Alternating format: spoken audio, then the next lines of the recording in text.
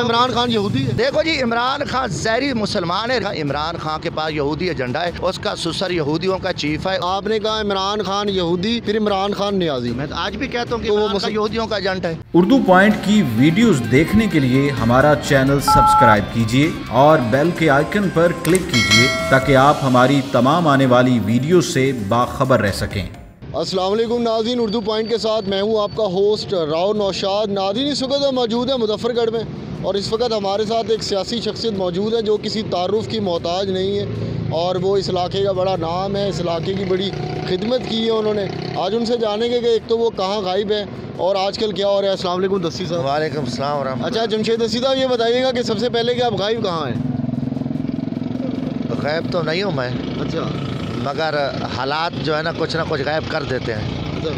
ہاں باقی ماشاء اللہ ہم ٹھیک ہیں ادھر اچھا یہ بتائیے گا کہ تیر سے سفر شروع ہوا پھر دوبارہ ضمنی انتخابات ہوئے پھر تیر سے لڑے پھر گھڑے پہ پھر اس کے بعد جھاڑو۔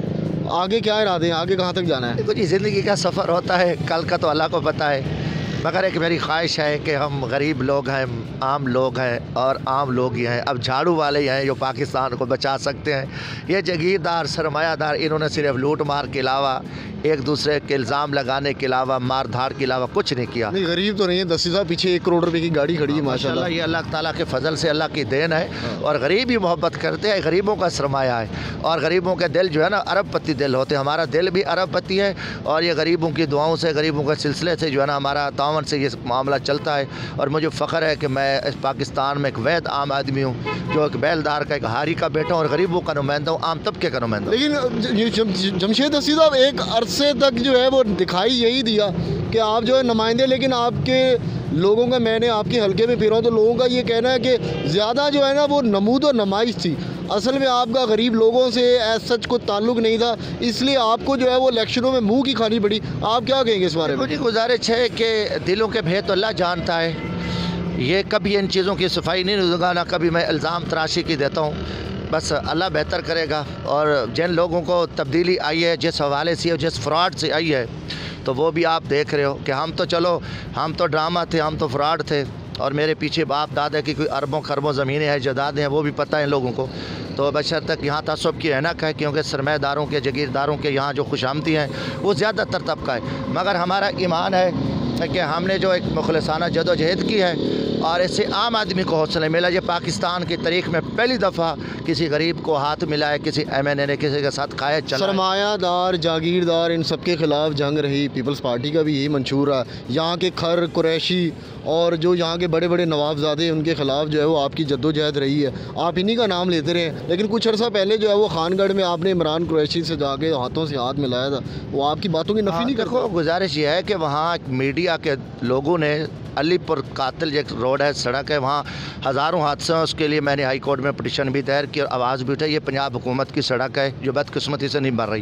وہاں پہ میڈیا نے سب کو بلایا۔ میڈیا کی میڈیا جب بلاتے صحافی وہ اپوزیشن کو بلاتے عمران قریشی نے جلسہ کروایا نہیں عمران قریشی کا جلسہ نہیں تھا۔ وہاں کے لوکل صحافی تھے شباز بونڈا صاحب اور ان دوستوں نے وہاں کے تمام اپوزیشن اور حکومت حکومت والے نہیں ہیں۔ اپوزیشن کے لوگ اکٹھے آئے تھے۔ تو وہاں ایک میڈیا کا جب ٹاک ہوتا ہے کوئی پروگرام ہوتا ہے تو وہاں سب اکٹھے ہوتے ہیں۔ شادیوں پہ بھی ہوتے ہیں۔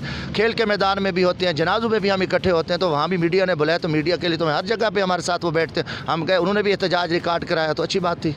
اچھا سڑکیں جو ہے یہ جو بائی پاس جا رہا ہے جو علی پور کو جو مظفر گڑھ شہر سے یہ کافی عرصوں سے بر- برسوں سے میں دیکھ رہا ہوں۔ یہ بن نہیں پایا کیا بات ہے؟ کس کی نااہلی؟ ہاں دیکھو بدقسمتی ہے۔ یہ پنجاب حکومت کی ہم اس کو تخت لاہور کا ذمہ دار کہ یہ ساری صوبائی سڑکیں ہیں۔ علی پور کی جو کراچی کی قومی شرح ہے پچھلے دور میں شباز شریف صاحب نے بڑے دعوے کیے اس کو بناؤں گا۔ اور پھر یہ جو یہ چھوٹے بائی پاس پڑے ہیں جتنے یہ سارے صوبائی مسئلے ہیں پانی کا مسئلہ ہے سیوریج کا مسئلہ ہے۔ میں وفاق میں رہا اور صوبے میں جب پیپلز پارٹی میں بھی ایم این اے تھا تو شباز شریف کی حکومت تھی صوبے میں کوئی کام نہیں کرنے دیا۔ آپ کے نزدیک نواز شریف کیا ہیں؟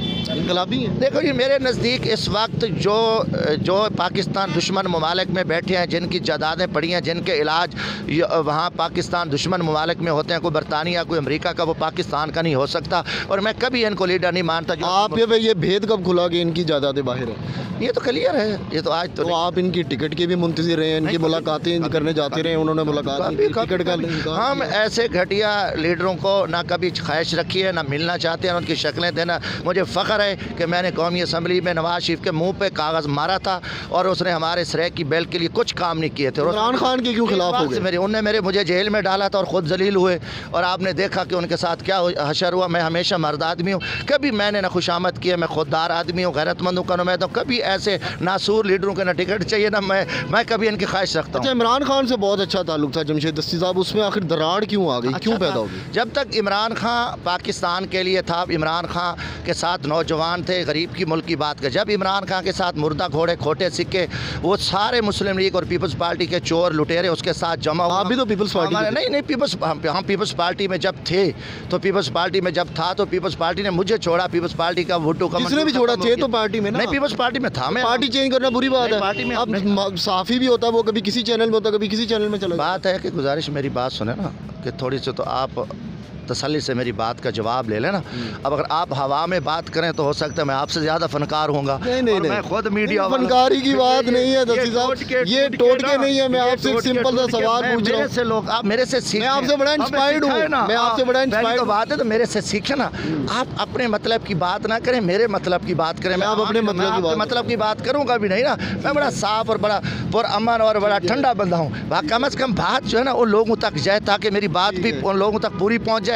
اور آپ کی بھی جو ہے نا کار بھی پوری ہو جائے۔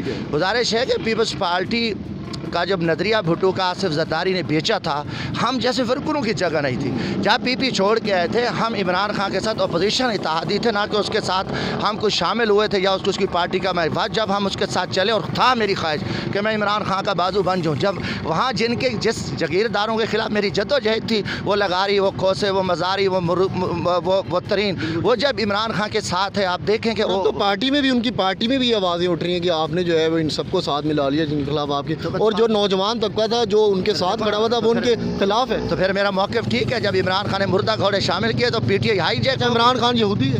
ہاں۔ عمران خان یہودی ہے۔ نہیں عمران خان اللہ بہتر ہے۔ مسلمان ہے یہ یہودی۔ نہیں میں اس چیز کا ٹھیکیداری اس سے جا کے پوچھا آپ بتائیں نا میں آپ کا پوائنٹ دیکھو جی عمران خان زہری مسلمان ہے رشتہ اس کا یہودی مولانا فضل الرحمان کے جلسے میں آپ نے عمران خان یہودی ہاں کہا۔ نہیں میں کلیئر کہا میں کہا یہودی اس کا سسر ہے اور اس کے بچے آپ نے کہا عمران خان یہودی۔ بات سن لیں نا میری بات سنیں میں نے کہا عمران خان کے پاس یہودی ایجنڈا ہے اس کا سسر یہودیوں کا چیف ہے اس کے بیٹے وہاں بیٹھے ہیں وہ پاکستان میں لے آئے۔ آپ آپ نے سسر کی بات نہیں کی۔ آپ نے کہا عمران خان یہودی پھر عمران خان نیازی۔ میں آج بھی کہتا ہوں کہ وہ یہودیوں کا ایجنٹ ہے۔ اچھا یہودیوں کا ایجنٹ کہنا اور بات ہے کسی کو یہودی ایجنٹ ایجنٹ ایجنٹ اچھا آپ نے ایک اور نعرہ اس میں لگایا جب آپ مولانا فضل الرحمان کے جلسے میں کھڑے ہوئے تھے۔ آپ نے کہا یہودیت مرد آباد ٹھیک ہے۔ آپ نے اس کے بعد ایک اور نعرہ لگایا بینگ اے مسلم۔ مثلا مجھے وہ ابھی سمجھ نہیں آیا وہ آپ کیسے آپ نے کہا عیسائیت لوگ مرد آباد کا نعرہ آ رہا ہے کیا آپ کے حلقے میں عیسائی ووٹر نہیں ہے نہیں سر کبھی ایسی بات نہیں ہے۔ میں آپ کو دکھاؤں آپ کی ویڈیو۔ آج مولانا صاحب آج بھی اعلان کرے جو اعلان کرے گا انشاءاللہ یہودی وزیر اعظم عمران خان جیلی وزیر اعظم عمران خان پاکستان کے دشمن وزیر اعظم عمران نیازی کو ہر صورت جانا ہوگا جانا ہوگا جانا ہوگا۔ اور انشاءاللہ تعالی ہم مولانا صاحب کے حکم کے پابند ہیں۔ جو کہیں گے انشاءاللہ تعالی جو کہیں گے عمل کریں گے۔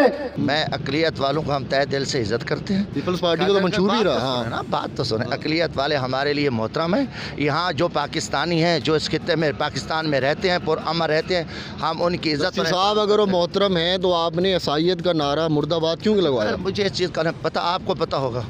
آپ نے لگوایا نعرہ؟ میں نے تو نہیں لگوایا۔ یہ پھر آپ یہاں عیسائیت کے لیے کوئی انٹرویو کر رہے نہیں نہیں ہیں؟ نہیں میں تو میں الحمدللہ مسلمان ہوں ہے اگر میں عیسائی بھی ہوتا تو تب بھی اس میں کوئی لیکن میں حیران ہوں کہ اتنا بڑا جو پارٹی کا لیڈر ہے عوامی راج پارٹی کہہ رہے ہیں آپ کے دیکھیں آپ کے جو علاقے میں اقلیت ہیں کیا ان کے دل پہ گران نہیں گزرا ہوگا؟ الحمدللہ یہاں اقلیت کے ساتھ ہمارا رابطہ ہوتا ہے اور اقلیت کی عزت ہوتی ہے اور پاکستان میں آپ دیکھیں یہ بلکہ اقلیت کا تھا وہ نبی صلی اللہ علیہ وسلم کی ذات پاک نے پھر کہہ دیا تو محمد علی جناح کا جو پاکستان بنا یہاں اقلیت کی عزت کی جاتی ہے قدر کی جاتی ہے اقلیت کے سارے مسئلے سنے جاتے ہیں ان کے مسئلے حل کیے جاتے ہیں۔ بات ہے جہاں تک میرا عقیدہ ہے مجھے فخر ہے کہ میں مسلمان ہوں اور حضرت محمد صلی اللہ علیہ وسلم کا امتی ہوں۔ اس پہ کوئی اور چیز پہ کوئی کمپرومائز ہم سب بھی اللہ کے رسول کی امتی ہیں اور ہم یہ بھی یہ بھی یقین رکھتے ہیں کہ دوسرے مذاہب کو بھی ہمیں وہی عزت دینی چاہیے۔ ٹھیک ہے؟ اور ہمیں یہی کہا گیا آئندہ آپ سے بھی یہ امید رکھتے ہیں کہ آپ اس طرح آئندہ کسی آپ ایسی کوئی بات نہیں ہوتی۔ یہاں آپ کو پتہ ہے کہ ایک تعصب کی ایک منڈی لگی ہوئی ہے۔ آپ نے بات کی، میں نے خود سنی، خود دیکھی، تو میں نے- آپ نے دیکھی ہوگی سنی ہوگی میں نے نہیں کی مگر میں آپ کی سنی دیکھی کہ میں کوئی ٹھیکیدار تو نہیں ہوں۔ صاحب آپ کے منہ سے سنی آپ نے آنکھوں سے دیکھی۔ میری بات سنیں نا کہ میں جو کہتا ہوں قائم ہوتا ہوں۔ کبھی ایسی بات میں کرتا ہوں تو کرتا تو کہتا۔ میں نے آپ آپ کیا کہتے ہیں؟ آپ نے یہ نہیں کہا۔ کس کا؟ یہ مولانا فضل الرحمان کے سٹیج پہ کھڑے ہو کے آپ نے عیسائیت مرد آباد کا نعرہ نہیں لگوایا۔ مولانا فضل الرحمان ایک بہادر لیڈر ہے اور اس کے ساتھ خود ماشاءاللہ ان کی اقلیت کے ممبران ہیں اور ایک دلے لیڈر کے ساتھ ہم گئے اور وہاں ایسی کوئی باتیں نہیں ہوئی۔ ہم جس مشن کے لیے گئے الحمدللہ اس پہ اللہ کافی کام ہو چکا اور مزید ہو جائے گا اور بڑی اچھا۔ اگلے الیکشن میں عوامی راج پارٹی کو کہاں دیکھ رہے ہیں آپ؟ دیکھو جی محنت ہے جدوجہد ہے۔ اپنی کوشش اچھا آخری سوال عمران خان کی حکومت یہ جو ٹینیور ہے ان کا پورا کر پائے گی؟ اور آپ جو ہے مستقبل میں کیا کوئی چانسز ہے آپ کا عمران خان سے جو ہے وہ؟ ہاں جی پہلی تو بات ہے کہ جب ہم نے ایک سٹینڈ لیا تھا خان صاحب کے سے کنٹینر سے اتر رہے تھے اس کے بعد ہم نے کوئی اس سے نہ رابطہ رکھا نہ ہماری خواہش ہے۔ خان صاحب کی حکومت اس ماحول میں نہیں چل سکتی۔ مجھے نہیں امید کہ یہ مزید چلے گی۔ ادارے ہیں ہاں، پیچھے ان کی حکومت مجھے کوئی پتا اللہ بہتر جانتا ہے کیونکہ میں فالیں پہننے یہ والا بھی نہیں۔ آپ نے کہا ہے کہ فوج ان کے پتہ- پیچھے۔ غائب غائب کا اللہ کو پتہ ہے۔ مجھے نہیں پتا فوج پاکستان کی فوج ہے وہ کسی پارٹی کے پیچھے نہیں ہے۔ یہ پاکستان کی فوج ہے ہمیں ہمیں فخر ہے اور فوج کو ہم متنازع بنانا نہیں چاہتے ٹھیک ہے نا؟ تو اللہ کرے کہ ہمارے جنرل متنازع بنے ہی نا۔ اور ایک ہی آتے ہیں کوئی فرد وید کا کوئی ایشو ہوتا ہے جیسے مجوب خان یا یایا خان صاحب ہے یا ضیاء الحق صاحب ہے یا مشرف صاحب ہے یا ان پہ باتیں ہوتی اور ہماری دعا ہے کہ آئندہ ہمارے افواہ، ہمارے جنرل جو اچھے جنرل ہیں، اللہ کرے گا کہ وہ اب اس کا اس ایسے نظام کا، اس کا حصہ نہیں بنیں گے، بلکہ وہ اس پاکستان کی جیسے خدمت کر رہے ہیں، وہ کرتے رہیں گے۔ ہمیں یہ فوج ہمارے سرحدوں کی محافظ ہے، ہمارے ملک کی پوری پاکستانی قوم اپنی افواج کے ساتھ، کہ ہم کبھی اپنی فوج کو متنازع نہیں دیکھنا چاہتے۔ اور میرا ایمان ہے کہ ہماری فوج ایک دنیا کی سپر فوج ہے، ہم اسلامی ایٹمی طاقت ہے اور ہمیں فخر ہے۔ باقی چند لوگ ہوتے ہیں تو جو ایسی باتیں کرتے ہیں، اور ہم نے ہمیشہ ان چیزوں کی مذمت کی۔ انڈیا کے ساتھ معاملات بڑے خراب چل رہے ہیں بارڈر پہ آپ نے دیکھا مسلمانوں کے ساتھ بھی بڑا ظلم ہو رہا ہے۔ اگر کل کو ضرورت پڑی فوج کو یا ملک کو ضرورت پڑی تو کیا آپ ہتھیار کے ساتھ اگلے مورچوں پہ ہوں؟ ہم تو غریب بندے ہیں ہم ہتھیار چلا سکتے ہیں۔ ہمیں فخر ہے کہ ہماری جان اس ملک کے لیے چلی جائے۔ اور آخ زندگی تو آخرت ہے نا ہمیشہ کی زندگی اور شہادت کا درجہ ہے۔ اور میرا ایمان ہے ہم اس کے لیے چوبیس گھنٹے تیار ہیں۔ جی بالکل آپ نے سنا جمشید دستی صاحب کا یہ کہنا ہے کہ اس ملک کے لیے جو ہے وہ ہماری جان اور ہمارا مال ہر وقت حاضر ہے۔ اب تک کے لیے اردو پوائنٹ سے راؤ نوشاد کو اجازت دیجیے اللہ نے کے بعد